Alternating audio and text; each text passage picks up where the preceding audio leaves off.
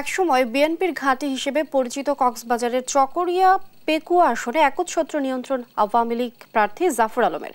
তবে দলের অভ্যন্তরে কোন্দলও বেশ স্পষ্ট। তবে দল ও সাধারণ মানুষের কাছে আস্থা ভাজন নেতা মনোনয়ন পাবে এমন প্রত্যাশা তৃণমূলের। কক্সবাজার থেকে সৌরভ দেবের রিপোর্ট।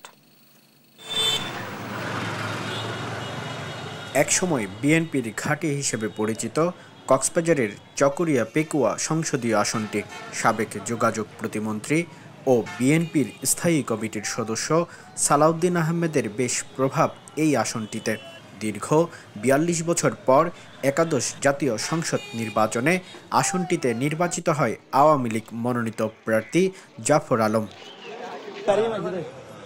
তাই নিজের জাত চেনাতে গিয়ে জাফরের হাতে চলে আসে একচ্ছত্র নিয়ন্ত্রণ।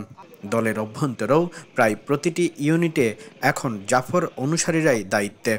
এমনকি প্রতিপক্ষের কাছেও জাফর হয়ে উঠেছে শক্তিশালী দেয়াল। সব মিলিয়ে জাফর আলম মনে করেন, তিনি রাজনীতি করেছেন মানুষের জন্য।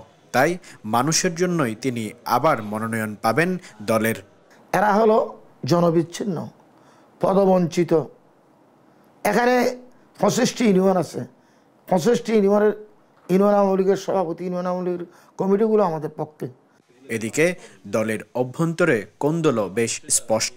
অনেকের অভিযোগ এই কোন্দল সৃষ্টির পেছনে জাফরই দায়ী। আমরা চেয়েছিলাম এখানে একটি যৌথভাবে সবাইকে মিলে একটি কমিটি গঠন করবে কিন্তু বর্তমান কমিটি হয়তো বা এটা কারও কারও বাদ দিয়ে কমিটি গঠন করা হয়েছে। আওয়ামী লীগের ত্যাগী নেতা কর্মীদের বাদ দিয়ে হাইব্রিড নেতা কর্মীদের সুযোগ সুবিধা দেওয়ায় তার বিরুদ্ধে সবচেয়ে বড় অভিযোগ। তবে এসব অভিযোগের বিষয়ে জাফরের সাপ জবাব যে যাই বলুক তার সোনার হরিণ চায়। যারা জনবিচ্ছিন্ন পদবঞ্চিত তাদের কথা এখানে কে শুনবে? ওরা যে- যে যাই বলুক ভাই আমি আমার সোনার হরিণ চাই। দলের তৃণমূল নেতাদের প্রত্যাশা দল ও সাধারণ মানুষের কাছে আস্থাভাজন নেতাই যেন আগামীর মনোনয়ন পেয়ে থাকেন। একজন তৃণমূল থেকে বেড়ে ওঠা রাজনৈতিক নেতৃত্ব চকরিয়ার মানুষ আশা করে এবং বাছাই করতে চায়।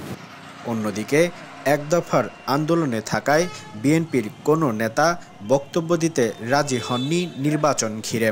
তবে আওয়ামী লীগের ভেতরেই এখন পর্যন্ত এই আসনটির জন্য মনোনয়ন প্রত্যাশায় রয়েছে অর্ধ ডজন নেতা।